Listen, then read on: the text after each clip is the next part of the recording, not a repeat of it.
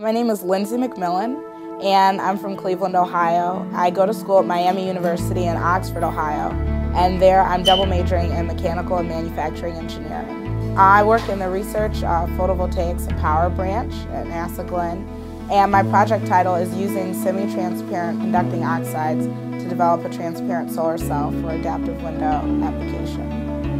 I think I could only do this type of work here at NASA Glenn. I really love it, and the responsibilities and the challenges are more self-driven because uh, you don't have a professor saying, you know, you have to have this done by Thursday or you have to have this figured out by a certain day. And uh, instead, it's internal of if I saw something on the data that didn't make sense to me, how soon do I want to figure that out? So it's uh, more self-driven, and I, I'm enjoying it. I take my classes a lot more seriously because I know that all those little things that you learn, you can't just dispose of them after you finish the exam. So, you know, you learn the laws and physics and you, you know, okay, I passed the exam, I'm fine. But when you get into the workforce and you're standing in the lab and they say, oh, you remember this law? It, it's helpful to know it. So all those things are important.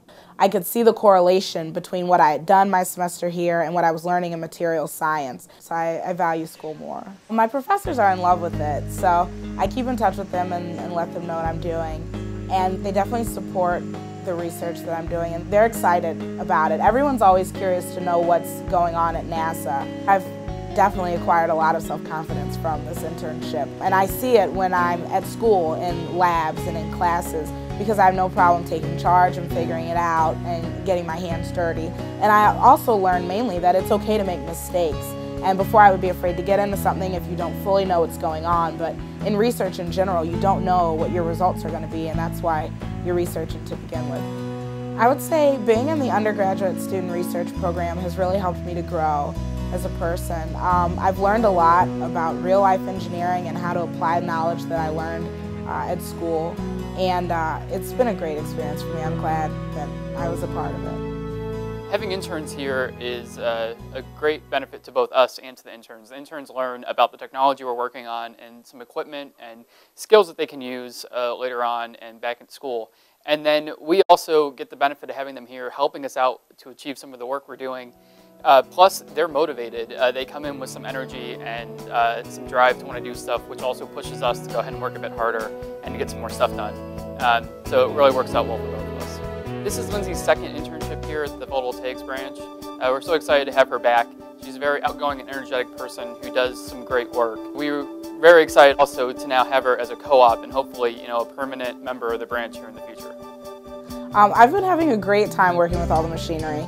I, you know, I feel like I'm learning a lot when I'm dealing with them. And at first, I came in and, you know, my first day and they're showing me these are all the places you're going to work on. And it's like, you know, I, will never figure it out and trying to memorize it. So I started out with a list of instructions showing me how to operate each of them, but as the time's gone by, I know not only how to operate them, but how to fix them and troubleshoot. So I've learned a lot, and uh, it's been a great experience. I'm working on an interdisciplinary team. We have a member from Texas, uh, someone in England, and then the two of us here at Glenn.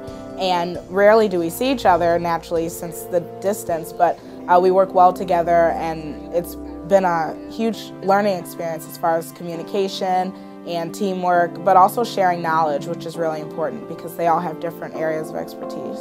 After this internship, I plan to pursue graduate school and I'll be a co-op student, so I'll actually research at Glenn Center and return to my university. And then ultimately, after I finish graduate studies, I will work at Glenn.